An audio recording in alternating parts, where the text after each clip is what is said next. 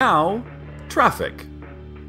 A representative from the Sheriff's Secret Police, waving vaguely at a map in our studio, said that there are street closures. Quote, all over. Just all over the general area, the representative said, tapping the edge of the map with two knuckles, a bunch of them in different places. We asked if he could be more specific, and he nodded, but did not say anything more.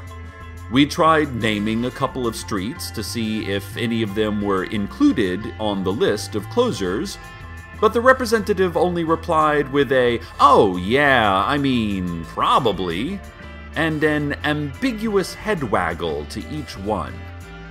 He added that anyone caught on a closed road would be dealt with in the usual manner, and then he winked and gave me a thumbs up.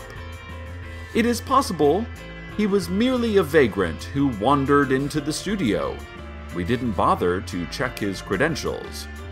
Just to be safe, though, look out for road closures all over in the general area, listeners. They're in a bunch of different places. Probably. This has been Traffic.